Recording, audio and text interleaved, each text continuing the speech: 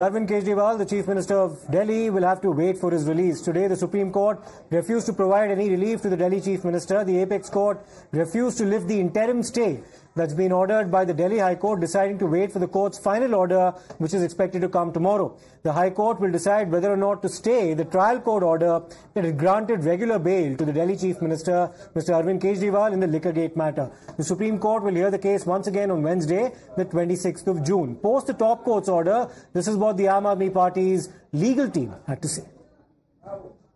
Matt, we have challenged the order of the uh, Honorable High Court granting an interim stay on the bail order of uh, uh, CM Arvind Kejriwal. The matter was mentioned before the Supreme Court urgently. The matter was listed today. The court has observed, Honorable Supreme Court has observed that although there is an interim stay on the uh, order of the bail, but the final order has yet not come. So we have to wait for the final order to come of the High Court and the matter has been adjourned day after tomorrow for the further hearing.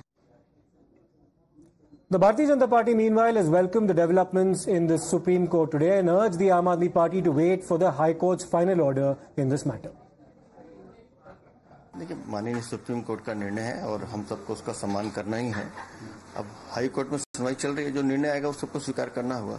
लेकिन इतनी आतुरता जो उन्होंने भागने में दिखाई जब जाँच एजेंसी हाई कोर्ट जा रही थी तो इनको लग रहा था कि ये क्या हो रहा है। लेकिन खुद करेंगे तो वो पाखंड नहीं है। तो ये इनका दोहरा चरित्र है आम आदमी पार्टी का।